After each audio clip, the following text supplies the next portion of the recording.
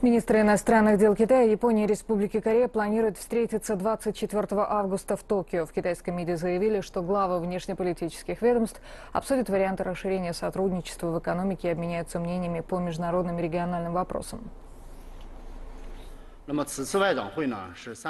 Это регулярная и ежегодная встреча, на которой стороны обсуждают проблему сотрудничества. Мы надеемся, что после этих переговоров сотрудничество между Китаем, Японией и Республикой Корея покажет прогресс, усилив интеграцию в Восточной Азии. Мы должны прилагать усилия для достижения цели по созданию региональной интегрированной экономической зоны в 2020 году, а также для обеспечения мира, развития и процветания в регионе.